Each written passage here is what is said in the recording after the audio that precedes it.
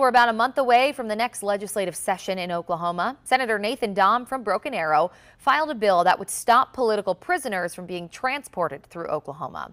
This bill, known as the Prohibition on Political Prisoners in Oklahoma Act, it defines a political prisoner as a U.S. citizen who's been arrested, charged, or convicted of any crime other than a felony relating to the attack on the U.S. Capitol last January.